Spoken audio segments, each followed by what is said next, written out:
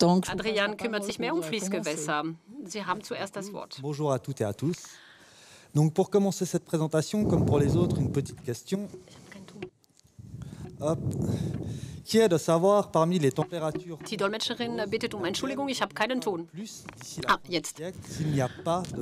Jetzt kommt der Ton, aber ich habe den Faden erstmal verloren. Zunächst einmal ist es die Temperatur des äh, Tiefwassers äh, der Seen oder äh, die Temperatur des Oberflächengewässers oder äh, die ähm, mittleren Sommertemperaturen in alpinen Flüssen. Welche der folgenden Temperaturen erhöht sich voraussichtlich ohne Klimaschutz bis Ende des Jahres am stärksten? Wir werden zunächst über die Temperaturen sprechen. Wir haben viel über Abfluss gesprochen. Jetzt werden wir sehen, warum die Temperatur auch eine interessante Variable, Variable ist. Dann werden wir uns mit den Veränderungen der Fließgewässertemperatur in der Vergangenheit beschäftigen und dann mit den erwarteten Entwicklungen für Fließgewässer und Grundwasser. Wasser.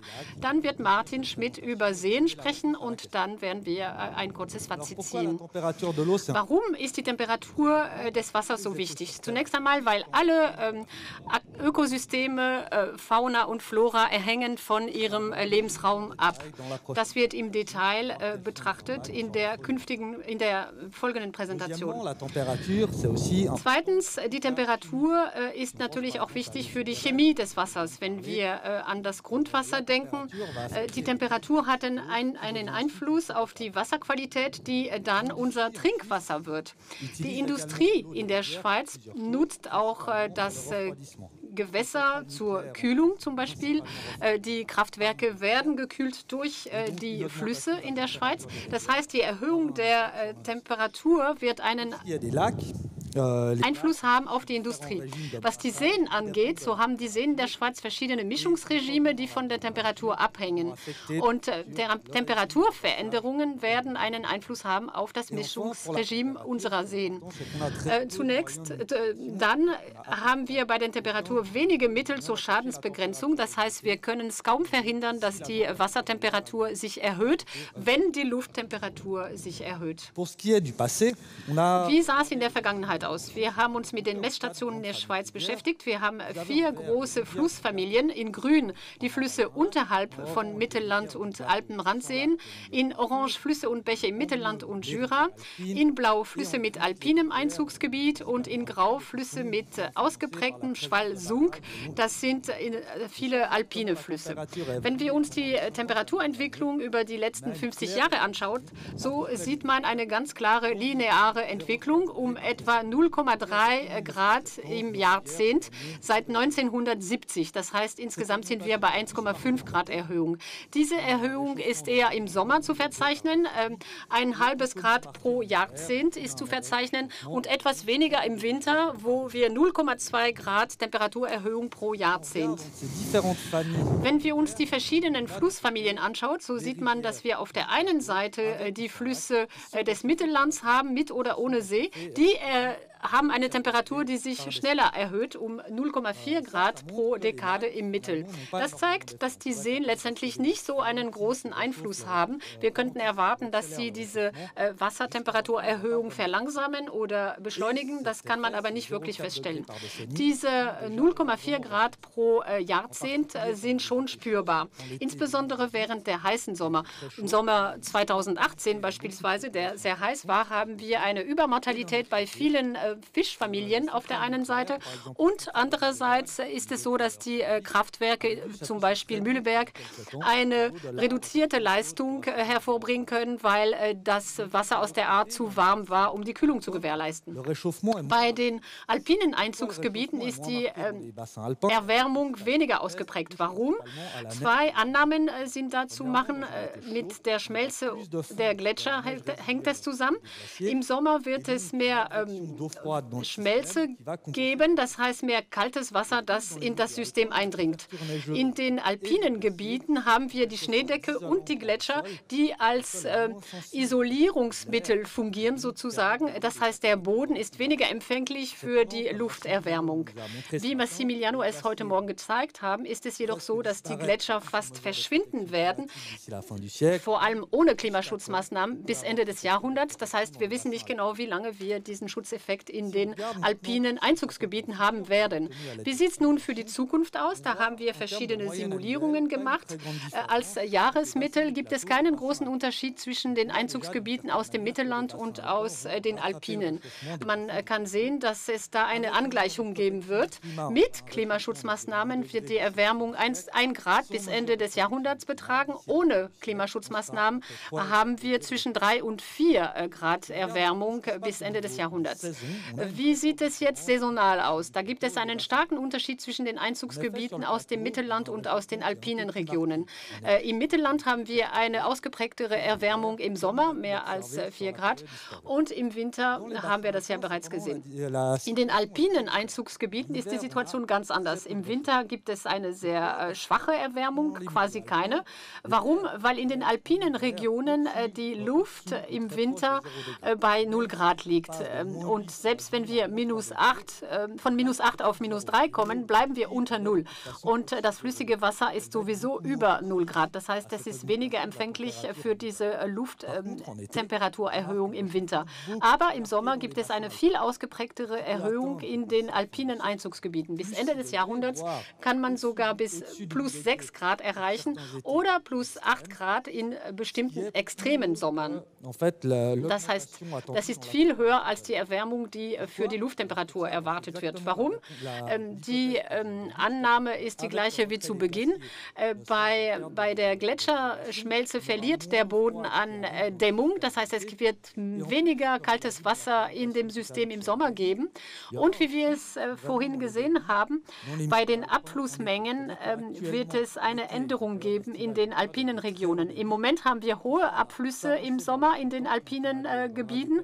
Das wird jetzt eher im Frühling sein. Das heißt, wir werden weniger Abfluss im Sommer haben und das Wasser ist viel empfindlicher auf die Lufttemperatur und deswegen eine starke Erwärmung in den äh, alpinen Einzugsgebieten. Wenn wir uns jetzt mit den Folgen äh, dieser Erwärmung beschäftigen, so haben wir einen Indikator der, der Anzahl an Tagen äh, im Jahr, wo die Lu äh, Temperatur über 25 Grad ist. 25 Grad ist in der Schweiz äh, die äh, Grenze, bei der man das Wasser zu Kühlungszwecken benutzen kann, ohne Einschränkungen. Wenn wir uns die Biers anschauen im Nordosten der Schweiz, wir waren bis jetzt in der Geschichte nie nie über 20 Grad gekommen. Mit Klimaschutzmaßnahmen wird es auch so bleiben. Aber ohne Klimaschutzmaßnahmen wird es so sein, dass wir bis Ende des Jahrhunderts zehn, Jahr, zehn Tage im Jahr im Durchschnitt haben, wo wir diese Grenze überschreiten. Und in manchen Sommern 45 Tage, also anderthalb Monate, wo die Temperatur über dieser Grenze äh, liegt und das Wasser nicht mehr genutzt werden kann. Wenn wir uns die Broye anschauen, ähm, wo das Wasser äh, per se wärmer ist als in der Birs, haben wir bereits jetzt diese Situation. Äh, in manchen Jahren haben wir 15 Tage über dieser Grenze. Und mit Klimaschutz wird sich das erhöhen. Ohne Klimaschutzmaßnahmen werden wir im Durchschnitt anderthalb Monate im Jahr über dieser Grenze haben und in manchen Jahren sogar zwei Monate. Ähm, das ist eine Annahme, die äh, natürlich äh, schwere Auswirkungen hat auf die Nutzung dieses Wassers zu Kühlungszwecken.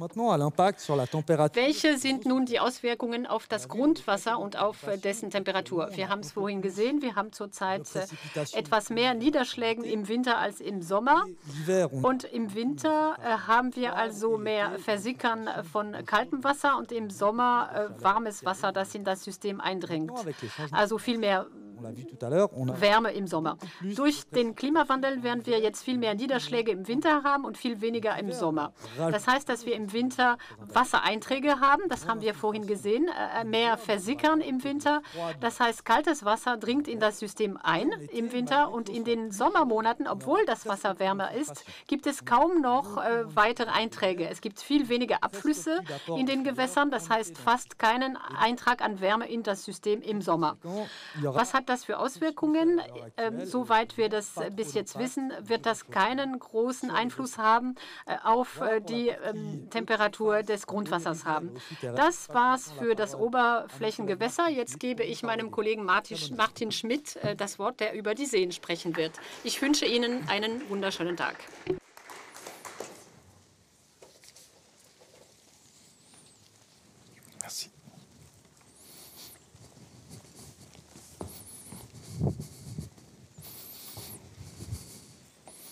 Merci Adrien pour l'introduction. Ich werde nun von den Fließgewässern Grund, äh, und dem Grundwasser zu den Seen übergehen. Die Seen haben ihr eigenes Klima, das Mischungsregime. Und äh, Sie sehen hier beispielsweise das Mischungsregime des St. Moritzer Sees. Im Sommer ist der See geschichtet. Sie haben da warmes Wasser an der Oberfläche. Die obersten 5 bis 10 Meter sind vielleicht im St. Moritzer See etwa 15 bis 20 Grad warm. In Seen im Mittelland können sie 20 bis 25 Grad warm werden. Im Winter werden die Seen abgekühlt und es gibt hier zwei verschiedene, hauptsächlich zwei verschiedene Typen von Seen in der Schweiz. Es gibt die dimiktischen Seen, die im Winter unterhalb von 4 Grad abkühlen und die sich zweimal im Jahr mischen. Sie mischen sich im Spätherbst und im Frühjahr. Dazwischen können sie eisbedeckt sein. Und dann gibt es die monomiktischen Seen, beispielsweise der Untersee Boden, äh, vom Bodensee, der hier gezeigt ist, aber die meisten tiefen Seen im Mittelland gehören zu diesem Typ. Diese mischen sich einmal im Jahr. Und dieses Mischungsregime, das ist das Klima für die Lebewesen im See. Sie haben sich an dieses Klima gewöhnt und sind davon abhängig. Wir haben nun im Projekt äh, HydroCH 2018 äh, für 29 Seen und Seebecken in der Schweiz berechnet, wie sich dieses Seeklima in Zukunft verändern wird, in Abhängigkeit von den Klimaszenarien. Ein wärmeres Klima kann dazu führen, dass Seen, die heutzutage dimiktisch sind, später in Zukunft monomiktisch werden, dass sie sich also nur noch einmal im Jahr mischen, wenn sie sich heute zweimal pro Jahr mischen. Hier sehen Sie als Beispiel die, die Ergebnisse unserer Berechnungen für den Lac de Joux. Der Lac de Joux ist heute im, normalerweise im Winter eisbedeckt und im Sommer während vielleicht fünf bis sechs Monaten geschichtet. In Zukunft, ohne Klimaschutz, gehen wir davon aus, dass die Eisbedeckung im Winter vollständig verschwinden wird oder nur noch in einzelnen sehr kalten Jahren auftauchen wird und dass die Sommerschichtung ein bis zwei Monate länger sein wird. Mit Klimaschutz wird der Lac de Joux auch in Zukunft in vielen Jahren noch im Winter eisbedeckt sein. Das Mischungsregime in den Seen ist bestimmten Lebensraum für die Tiere in den Seen. Hier am Beispiel für die kälteliebenden Fische. Ich zeige Ihnen hier zum Beispiel die Temperaturen im Greifensee. Diese sind im Sommer an der Oberfläche zu warm für kälteliebende Fische. Das ist bereits heute der Fall. Und unterhalb dieser Linie, die, der schwarzen Linie, die hier dargestellt ist im Bild, äh, ist es den Fischen zu warm. Oberhalb dieser Linie meine ich.